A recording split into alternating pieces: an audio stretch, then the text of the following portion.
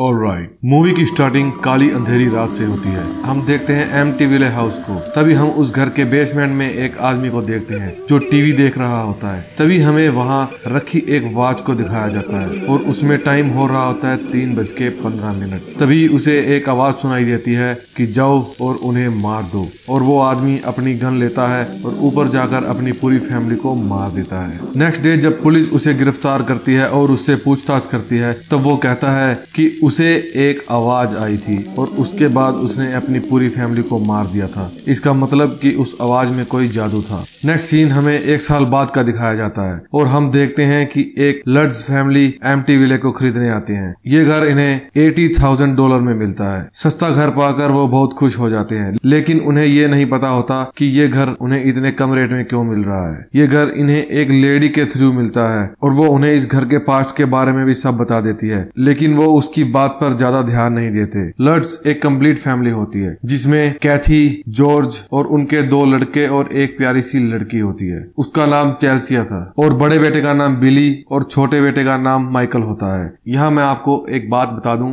कि ये तीनों बच्चे कैथी के फ़र्स्ट हस्बैंड के होते हैं, लेकिन उसकी डेथ के बाद कैथी दूसरी मैरिज करती है जॉर्ज के साथ। अब ये उसी एम टी विले हाउस में शिफ्ट होते हैं और अब इनकी लाइफ चेंज होने वाली है। रात को हम देखते हैं जॉर्ज को सर्दी लगने लगती है और वो बेसमेंट में हीटर ऑन करने जाता है। टाइम हुआ होता है तीन बजकर पंद्रह मिनट। तभी उसे भी कुछ आवाज़ें आने लगती हैं, लेकिन वो उन आवाजों पर ध्यान नहीं देता और वहाँ से चला जाता है। उसके बाद जब वो और कैथी अपने रूम में फ़िज़िकल हो रहे होते हैं, तभी जॉर्ज को एक छोटी लड़की की आत्मा दिखाई देती है, जिसे देखकर वो डर जाता है। नेक्स्ट डे हम देखते हैं कि कैथी चेल्सिया के रूम में जाती है और देखकर हैरान हो जाती है कि चेल्सिया किसी से बातें कर रही है, लेकिन वहाँ कोई नहीं होता। उसके बाद वो चैल्सिया से पूछती है कि तुम किससे बात कर रही हो? तो वो कहती है कि मैं जोड़ी से बात कर रही हूँ। ये वही होती है जो जॉर्ज को भी दिखाई देती थी। अब आप सोच रहे होंगे कि जोड़ी कौन है? तो हम आपको बता दें कि जोड़ी उसी आदमी की छोटी बहन होती है जिसने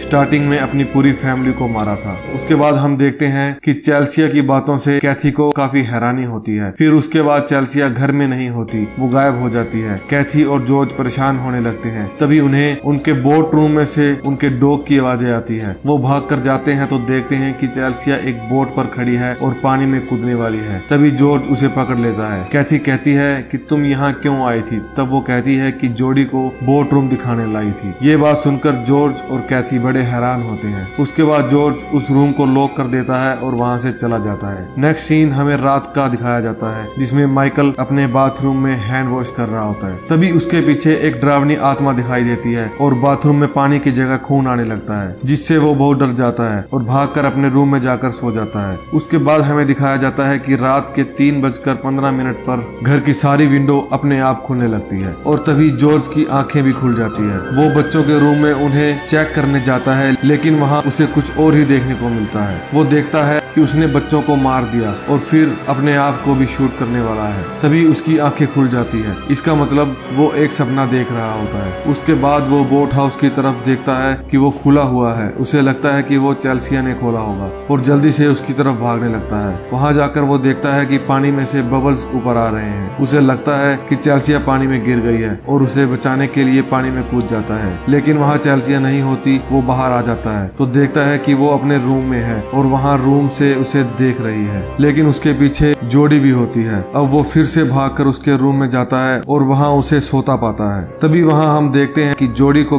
किसी ने पकड़ रखा है। वो भी छत पे। उसके बाद हम देखते हैं, जॉर्ज बेसमेंट में जाता है। वहाँ उसका डॉग कुछ खोद रहा होता है। वो बड़े ध्यान से देख रहा होता है कि तभी कैथी वहाँ आ जाती है और जॉर्ज उस पर गुस्सा करके वहाँ से चला जाता है। कैथी को कुछ समझ नहीं आता कि क्या हुआ है। अगले दिन हम देखते हैं कि कैथी किचन में होती है। तब उसे अपने पीछे कोई महसूस होता है। पीछे देखने पर उसे लिखा मिलता है कि उन्हें पकड़ो और मार दो। ये देख जब वो जॉर्ज को बुलाती है तो वहाँ कुछ भी नहीं होता। उसे लगता है कि उसकी आँखों का धोखा होगा। उसी रात कैथी और जॉर्ज डेट पर जा रहे होते हैं और बच्चों का ध्यान रखने के लिए लीजा नाम की एक बेबी सीटर को बुलाते हैं। उसके बाद वो अपनी डेट पर खुशी खुशी चले जाते हैं। लीजा बेबी सीटिंग के दौरान बहुत खुश होती है, लेकिन वो इस बात से अनजान है कि उसकी आखिरी खुशी होने वाली है। वो बच्चों को एम हाउस का पास्ट बताती है कि उनसे पहले वहाँ कौन रहता था और उनके साथ क्या क्या हुआ। उसके बाद वो जोड़ी के बारे में बताने लगती है। तभी चैल्सिया वहाँ आती है और कहती कहती है कि जोड़ी बोल रही है कि तुम एक अच्छी बेबी सीटर नहीं हो। ये सुनकर लीजा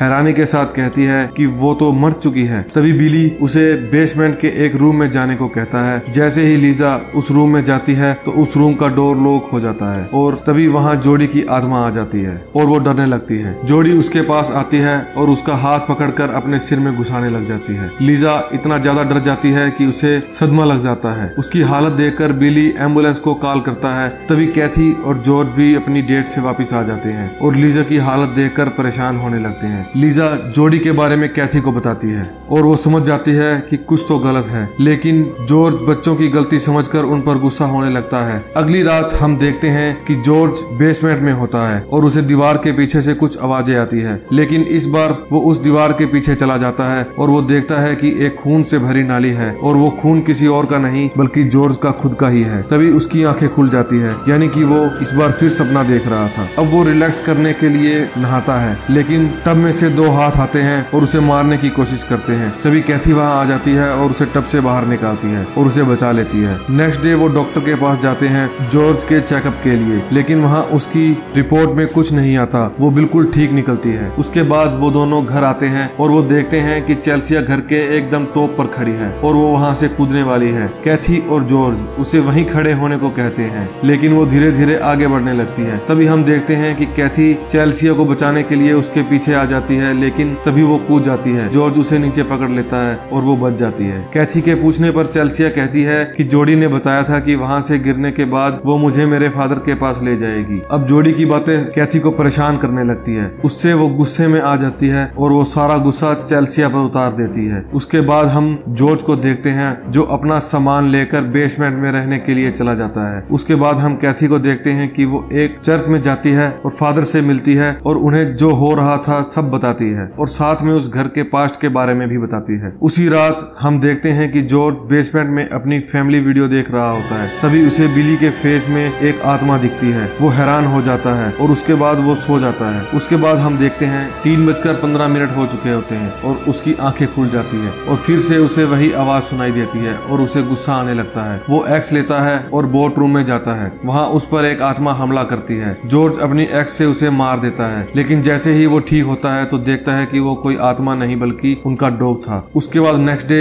माइकल आकर बताता है कि उसका डॉग नहीं मिल रहा, वो कहीं चला गया है। तभी हम देखते हैं कि घर की डोर बेल बजती है और ओपन करने पर वहाँ फादर होते हैं। अंदर आने पर उनकी नज़र सबसे पहले चेल्सिया के हाथ में जो डोल होती है, उस पर जाती है और वो वही डोल होती है जो उन्होंने जोड़ी के साथ देखी थी। उसके बाद फादर उस घर में पवित्र जल छिड़कना शुरू कर देते हैं, लेकिन वो जल गिरने के साथ ही गायब हो जाता है और तभी फादर पर बहुत सारी मक्खियाँ हमला कर देती है और उन्हें भी कुछ आवाज़ें सुनाई देती है और वो उन्हें वहाँ से जाने को कहते हैं। फादर वहाँ से चले जाते हैं। उसी रात फिर से जॉर्ज को वो आवाज़ें परेशान करने लगती है। वो बाहर आ जाता है। वो ज़ोर ज़ोर से चिल्लाने लगता है। कैथी, ये सब देख रही थी और वो परेशान होने लगती है। वो इन सबसे छुटकारा पाना चाहती थी। नेक्स्ट डे वो एक लाइब्रेरी जाती है। वहाँ वो एम विलेज से रिलेटेड सभी नोट्स पढ़ती है। तभी उसे पता चलता है ये घर रिचम नाम के आदमी ने 1671 में बनाया था। वो एक जादूगर था, जो लोगों को पकड़कर उन्हें मारता था और उनकी बलि शैतान को चढ़ाता था। और एक दिन वो अपनी भी बलि चढ़ा देता है, ताकि उसकी आत्मा अमर हो जाए और उस घर में हमेशा के लिए रह जाए। अब कैथी को सब कुछ समझ में आ जाता है। जॉर्ज को फिर से वही आवाज़ें सुनाई देने लगती है। वो दीवार तोड़कर अंदर जाता है, वहाँ उसे रिचम दिखता है। वो उसी के सामने अपना सिर काट लेता है और उसका सारा खून जॉर्ज के ऊपर गिर जाता है। उसके बाद कैथी फादर के पास जाती है और उनसे पूछती है कि आप वहाँ से क्यों चले आए थे?